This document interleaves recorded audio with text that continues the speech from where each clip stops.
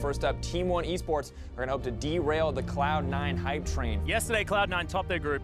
Is it going to be the same today? Fallout in trouble. Sub 100 health, and that's first blood for Jensen. Contractz in trouble, Mark. He wants it. Does he have the oh! volley? No, he doesn't. And Cloud9, 2-0 to start things off. You thought they looked good on day one. They look damn good starting off day two. Genthix books his way in, and that's a rocket jump to follow him up. Grand entrance not exactly going to be oh. enough as Mystic, WE, proving themselves the better team two games now against Lyon Gaming. Cataclysm comes down as impact. They're just trying to get him out of the way. King free hitting in the back line, but it's just not enough. C9, so much damage. C9, it was more difficult this time, but they're now 4-0.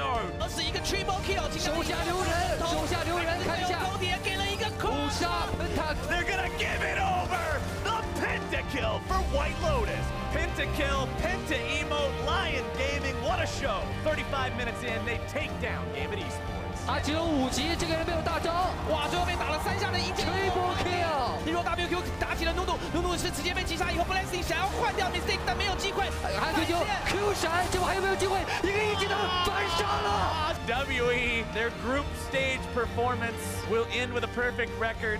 More damage coming through. Marf grabbing the kill on the King. Absolute stays alive, and it's a clean ace.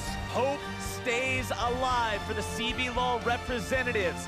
Marf gets the kill on the Fantic. Now King's looking to fight these guys both. He drops two. Only Chippys remains. And the representatives from the CBLOL will move forward into the knockout stage.